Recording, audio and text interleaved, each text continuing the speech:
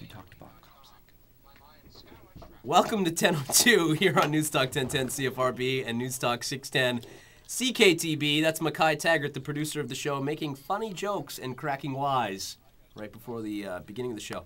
Interesting thing happened there uh, towards the end of the program tonight. Some of you might have noticed an awkward pause or what we like to call a dump, right? Uh, that sounds weird and dirty. Um, what happened was the viral video clip that we play every night around 9:50 was featuring a woman. What are you laughing at? I'm not Why so laughing. funny? I'm cringing. What are you doing? Some sort of yoga?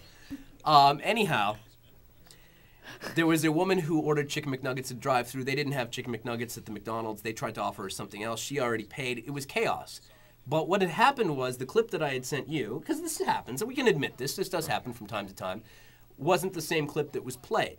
And at some point during the uh, woman's rant to 911, who she called because they didn't have the right chicken McNuggets, uh, Christian Bale popped up with his massive tirade that was featured on YouTube, full of expletives, including the F bomb, about four or five times, which was actually heard on the radio because of my producer and other such people. No, just because of your producer.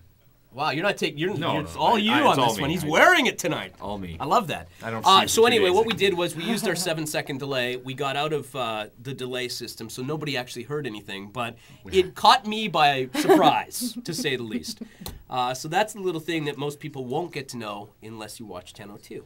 Next week. We have a lot of other stuff. A lot of stuff going on, yeah. Speaking of people who like to drop the f bomb, if I can, big announcement. We're going to make this a 1002 exclusive. Naughty by Nature, Treach and Vinny from Naughty by Nature are going to be on the show um, next week, probably late next week, uh, as part of Canadian Music Week, which we're going to be doing a lot of things with. I'll be reviewing. We'll both be reviewing a lot of the bands that we see.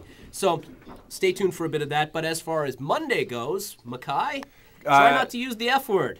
Go with it.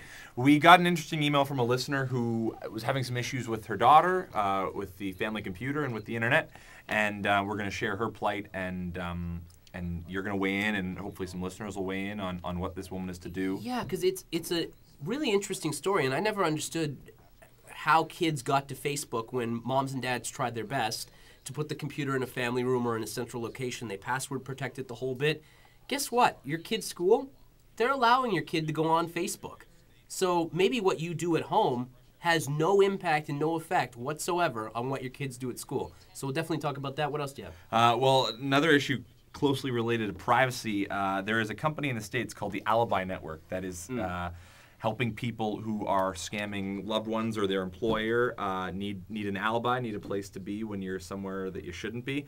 They'll they'll help you out, and uh, it has a website. They have a website that's that's quite thorough, and it looks as though they have quite a few clients. And Are you uh, one of them? Quite well.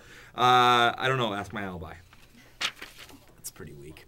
Uh, Ouch. It's Friday. Give me Maybe break. maybe if you had taken tonight off and called in sick, we wouldn't have had the problems we had earlier. Actually, it's a pretty good topic. We'll talk about that as well, and uh, I'll tell you why that website needs to be shut down.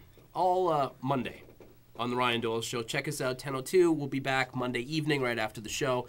As well, check out the blog at cfrb.com, and we're going to try to get it at 610ckTB.com as soon as we possibly can. We're trying our best on that. Have a great weekend, everybody. We'll do it all again Monday, 10:02.